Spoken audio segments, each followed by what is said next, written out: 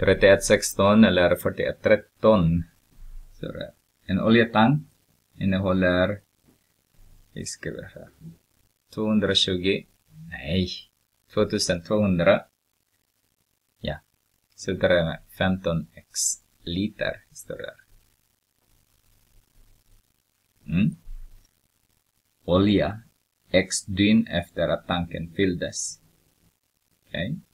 Hur många liter innehåller tanken 30 dagar efter att den fyllts? När den är full. Okej. Okay. Så vi tittar på A först. Så har vi 20, nej, jag skriver vad det är X då.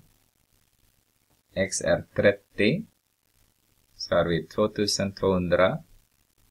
Subtraherar med 15 multiplicerar med eh, 30. Så har vi 2200 subtraherar med 0 och sen 45 är det 15 gånger 3. 45. Så har vi 0. 5.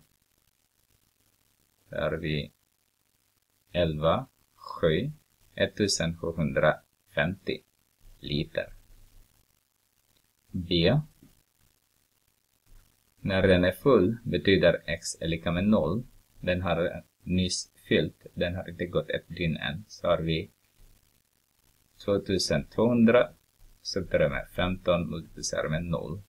Då är det 2200 liter.